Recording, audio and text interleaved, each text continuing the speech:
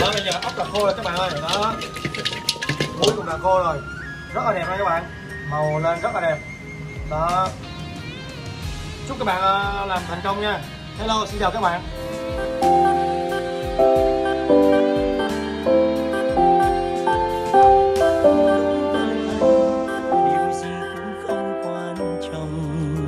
Quan trọng là em có yêu anh thật không?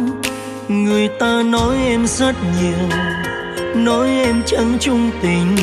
Vậy thì em hãy cho anh câu trả lời. Đây uh, à, Cường uh, sẽ làm uh, cho các bạn món ăn là ốc hương đang muối bám nha. À, ốc hương về thì chúng ta sẽ chế. Xong rồi chúng ta rửa sạch sẽ cho mình. Ta luộc này đó. Bây giờ luộc xong rồi chúng ta sẽ bắt đầu làm nha. Đây, ta cho một xíu nước này ít nước thôi đó.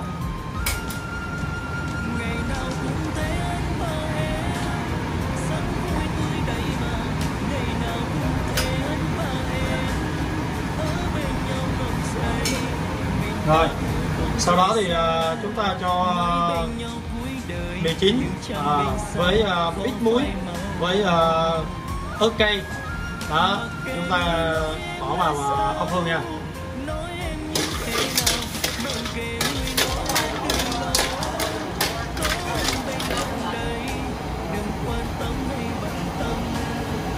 Rồi đó chúng ta đảo đảo cho nó đều nè cho nó thấm nè.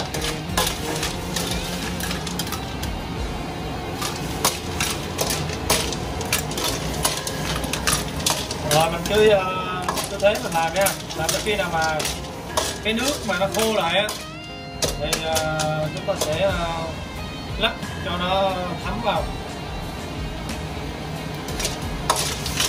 Món này thì rất là dễ làm nhưng mà nhiều người ấy thì uh, không biết cho nên là cảm thấy khó. Các bạn cứ để ý đó là khi mà nước nó sôi lên này đó là thì là ốc nó, nó, nó thấm như vậy à, các bạn.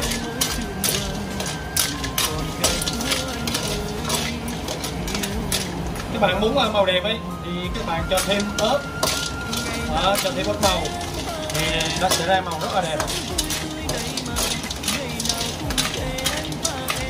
Đây bây giờ ốc của mình khô rồi. Thôi chúng ta sẽ à, giảm lửa nhỏ lại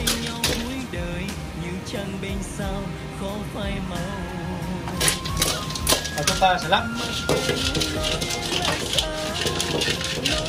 Chúng ta lắc khi nào mà nó ốc nó khô nó bám muối á, thì lúc đó ờ, các bạn tắt lửa nha.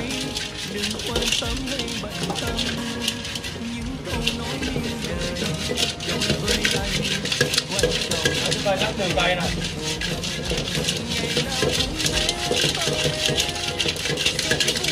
đó bây giờ đây bây giờ là ốc nó đã gần kho rồi các bạn ơi. Đó màu nó chuẩn bị đây nè. Đó, ờ, chuẩn bị chúng mình ờ, sẽ lắp có thêm. Lắp thêm cho khi nào mà ốc nó khô nó bám màu rất là đẹp.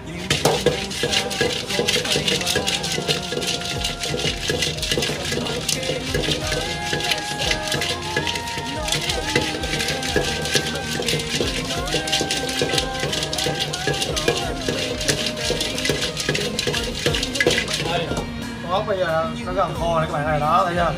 Bây giờ muối nó gần kho rồi. Rồi, chúng ta đắp thêm một xíu nữa này.